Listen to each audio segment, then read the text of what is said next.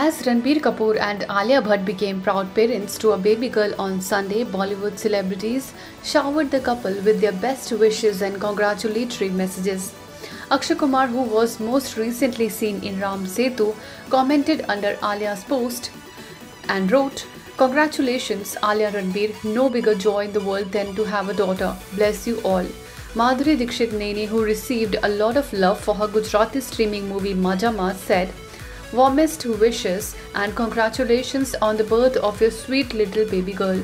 Ayushmann Khurrana wrote, Heartiest congratulations. Sonam Kapoor Ahuja, who herself welcomed her little one son Vayu not so long ago, reacted by saying, Congratulations, darling girl, cannot wait to see your princess.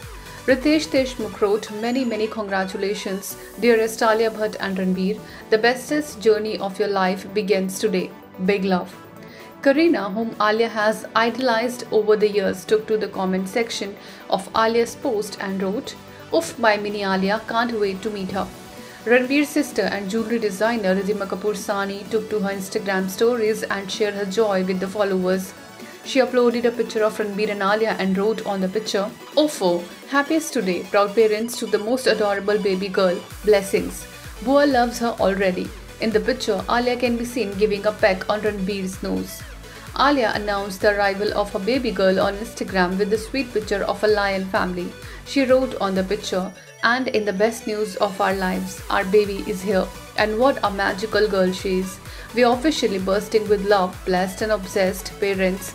Love, Alia and Ranbir.